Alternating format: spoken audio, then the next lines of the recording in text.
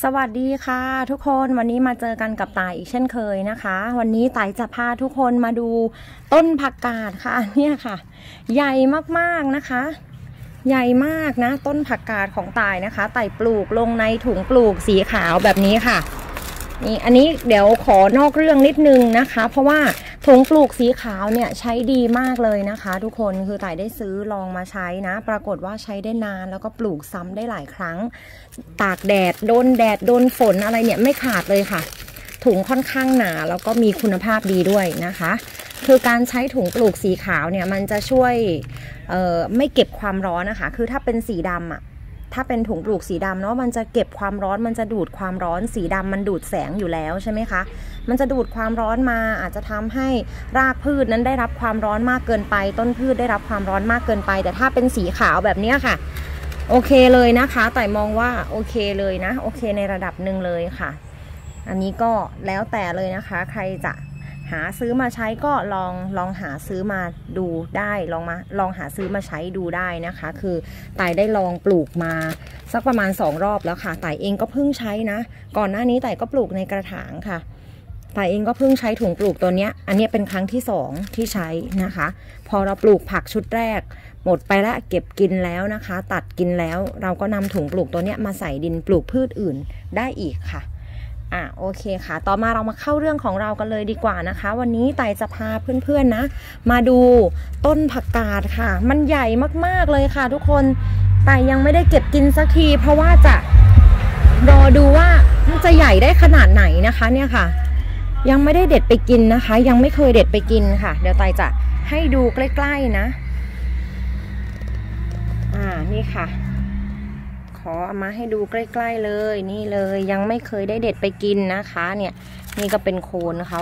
ในในถุงปลูกตัวนี้ไต่หยอดเมล็ดไปน่าจะสองสามเมล็ดอะคะ่ะ เกิดเลยนะ เกิดทั้งสองสามเมล็ด วิธีการปลูกนะคะ ตัวนี้ไต่ทำแบบบ้านๆเลยค่ะ คือไต่ไม่ได้ไปเพาะในถาดหลุมนะคะ ไต่เตรียมดินปรุงดินเสร็จ ตักดินเข้ามาใส่ในถุงปลูกสีขาว แล้วก็วางเมล็ดไปสองสามเมล็ดสี่เมล็ดประมาณเนี้ยค่ะ ในถุงเนี้ย แล้วเนี่ยค่ะก็ผลที่ได้ออกมาเป็นแบบนี้บำรุงดูแลอย่างดีนะคะ เอาใจใส่แบบพยายามดูแลอย่างเต็มที่เลยประคบประงมเลยนะคะสองต้นนี้กับกับถุงปลูกตัวนี้แต่ก็หยอดไป3-4เมล็ดเหมือนกันนะคะ แต่ว่าตอนนี้เท่าที่เห็นเนี่ยมีอยู่ต้นเดียวค่ะอ่าแต่ว่าไม่เป็นไรนะคะ ติดมาหนึ่งต้นแล้วก็เป็นต้นที่แข็งแรงด้วยนะ เพราะว่าดูจากการแตกยอดแตกใบของเขาแล้วแบบ โอ้โห ใหญ่มากๆเลยค่ะ ต่อมานะคะเราก็จะมาพูดถึงเรื่องการดูแลของต่ายนะ การดูแลของต่ายเลยนะคะ เริ่มต้นจากการปรุงดินค่ะต่ายก็ปรุงดิน พยายามปรุงดินนะคะ ทุกครั้งเนี่ยต่ายก็จะผสมดินนะคะ ปุ๋ยคอกใบไม้แห้งนะคะ เศษผักสดนะคะ ก็จะฉีกฉีกใส่เข้าไปด้วยกันนะ แล้วก็มีแกลบเก่านะคะ ที่สำคัญเลยนะ ตัวที่สำคัญเลยนะคะ ทุกคนดินปุ๋ยคอกแกลบเก่า ตัวนี้ไต่จะไม่ขาดเลยนะหลังจากนั้นเนี่ยก็จะใส่เป็นใบไม้แห้งนะคะ เศษผักสดอะไรอย่างเงี้ยนะคะ ฉีกฉีกใส่ด้วยกันถ้ามีเปลือกไข่ก็บดเปลือกไข่ใส่ไปด้วยคลุกเคล้าให้เข้ากันนะคะ โรยน้ำตาลไปสักนิดนึง แล้วก็ใส่หัวเชื้อ EM ราดรสลงไป หมักไว้อย่างน้อย 7 วันนะคะแต่ก็นำมาใส่ในถุงปลูกสีขาวตัวนี้เลยค่ะ แล้วก็ได้แบบนี้นะคะ หวานมเมล็ดลงไปแล้วก็คลุมด้วยฟางค่ะนี่ค่ะที่ทุกคนเห็น แต่ก็คลุมด้วยฟางนะคะอ่าพอคลุมด้วยฟางเสร็จแต่ก็พยายามรดน้ำในช่วงที่เราหว่านมเมล็ดเนาะ เราก็ยังไม่ต้องเอาออกแดดค่ะ เก็บไว้ในที่ร่มรำไร รดน้ำจนเขาเติบโตขึ้นมานะคะ เติบโตขึ้นมาเนี่ย เราก็หมั่นดูแลบำรุงค่ะ ตัวที่ต่ายบำรุงเลยตัวนี้ต่ายไม่ได้ใช้ตัวอื่นๆเลยนะคะต่ายใช้ EM แล้วก็ตัวน้ำหมักปุ๋ยขี้วัวแต่ใช้ 2 ตัวนี้เลยค่ะ จริงๆเลย ตัวที่ใช้บ่อยคือน้ำหมักปุ๋ยขี้วัวค่ะ น้ำหมักปุ๋ยขี้วัวเนี่ยต่ายจะรดทุก ๆ 3-4 วันรดครั้งหนึ่ง3-4 วันรดครั้งหนึ่งค่ะ ตัว EM ก็เช่นเดียวกัน 3-4 วันรดครั้งหนึ่ง3-4 วันรดครั้งหนึ่งคือต่ายจะรดวันเดียวกันเลย ไม่ว่าจะเป็น EM หรือว่าน้ำหมักปุ๋ยขี้วัว คือต่ายจะเททั้ง 2 ตัวลงมาผสมในถัง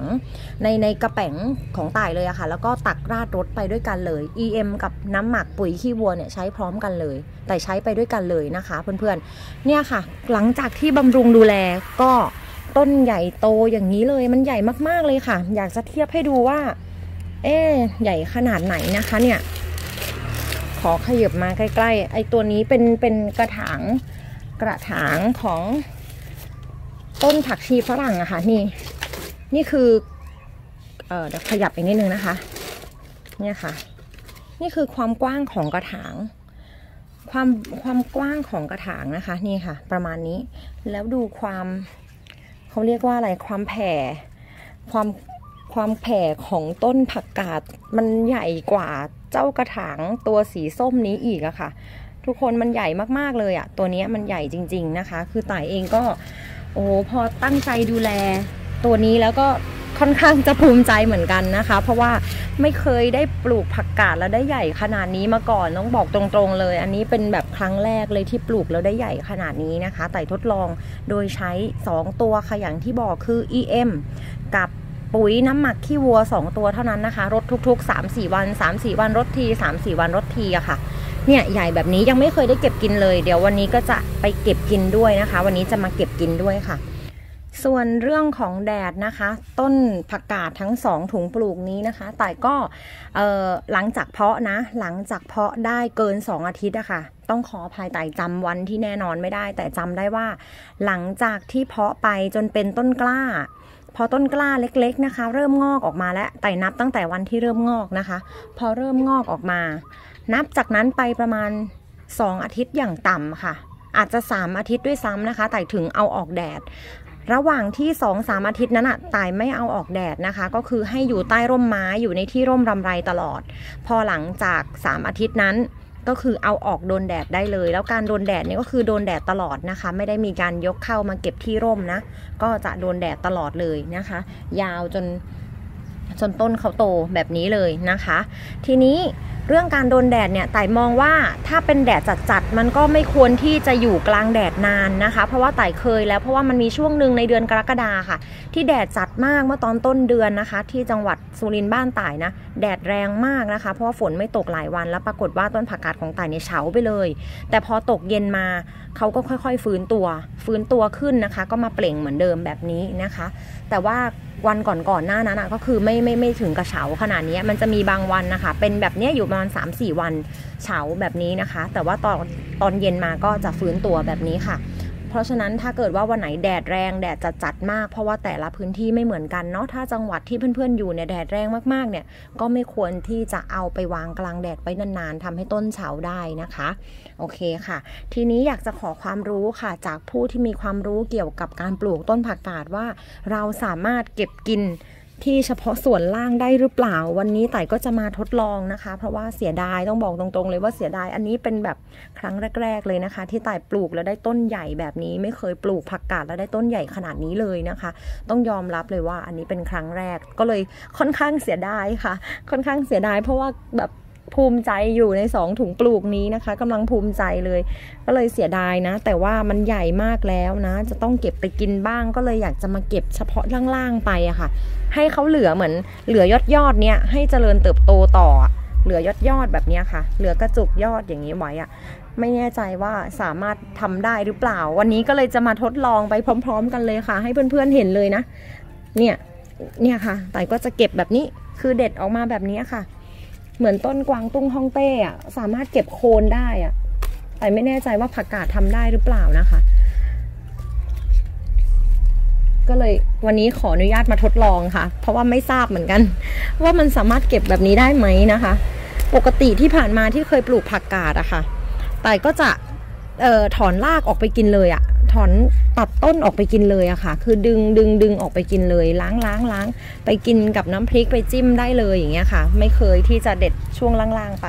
แต่วันนี้เนี่ยไต่ก็จะมาเด็ดช่วงล่าง เพราะว่าอย่างที่บอกไปว่าเสียดายมากค่ะ เนี่ยต้นค่อนข้างกรอบมากเลยนะคะ กรอบมากนี่ เดี๋ยวหักให้ดูค่ะ เนี่ยค่ะ กรอบมากๆเลยนี่อะมือมีความกรอบแล้วก็แบบโอ้โห สดมากค่ะ เนี่ยค่ะอ่าเดี๋ยววันนี้ก็จะเก็บไปนะคะ ให้เหลือยอดนะ เสียดายมากนะคะเนี่ยดึงดึงที่โคนนะคะ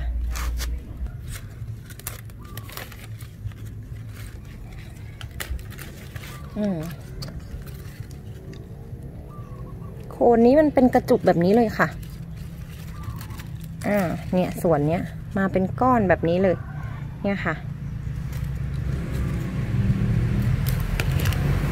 นี่อืมเวลาเด็ดนี่รู้เลยว่ากรอบจริง ๆ ค่ะ นี่ เนี่ยค่ะ บางทีก็มาเป็นกระจุกแบบนี้นะ เสียดายเหมือนกันนะคะ แต่ว่า ก็อยากจะรู้ด้วยนะว่าเขาจะสามารถเจริญเติบโตมาต่อได้อีกไหม ถ้าเราเก็บไปกินแบบนี้ไต่จะได้มีเก็บกินไปอีกหลาย ๆ ครั้งค่ะ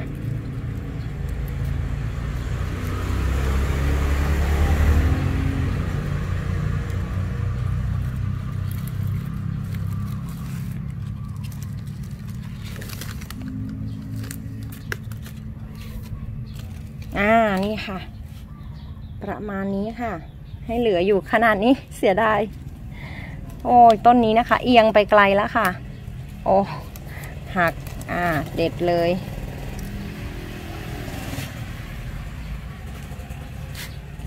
อ่า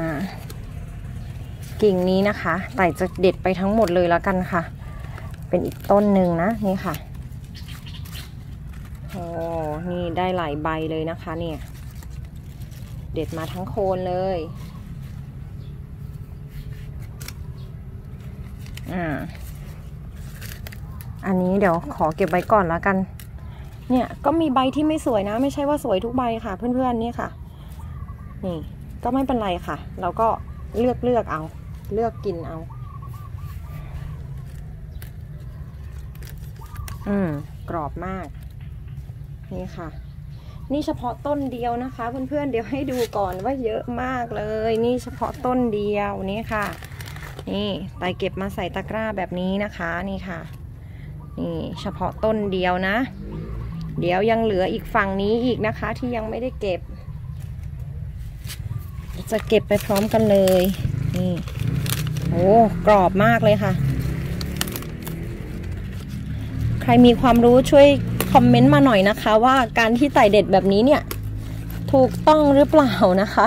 จะยังมีกินได้หลาย ๆ รอบเหมือนกับ คณะเออขออภัยค่ะเหมือนกับกวางตุ้งฮ่องเต้หรือเปล่านะ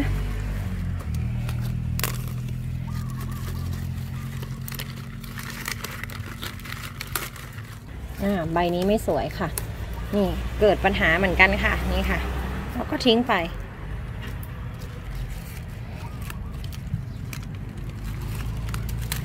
อืม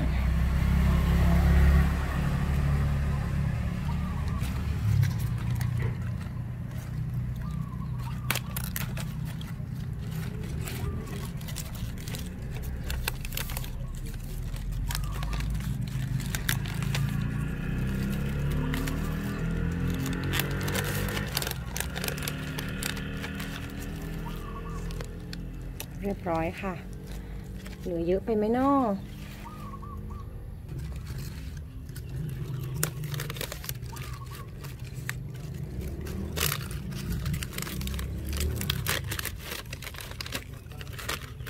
อืมนี่ค่ะ โอ้โห วันนี้ เด็ดไปแบบเปลือยเลยนะคะ เนี่ยค่ะ เหลือเท่านี้ค่ะเพื่อนๆ โอเคค่ะ สำหรับต้นผักกาดที่ไต่ปลูกนะคะ ตอนนี้ทิ้งไว้ให้เหลือแค่นี้ เดี๋ยวเราก็เดี๋ยวไต่ก็จะมาอัปเดตให้ดูนะคะว่าสองต้นนี้นะคะจะสามารถเจริญเติบโตได้ต่อไหมนะคะ แล้วก็จะใหญ่ได้เหมือนเดิมไหมค่ะไต่ก็จะดูแลบำรุงต่อไปเหมือนเดิมนะคะ ด้วยวิธีการเดิมเลยค่ะ EM แล้วก็ผสมกันกับน้ำหมักขี้วัวนะคะ ประมาณนี้ค่ะ โอเค ไว้เจอกันใหม่คลิปหน้านะคะ ทุกคน สวัสดีค่ะ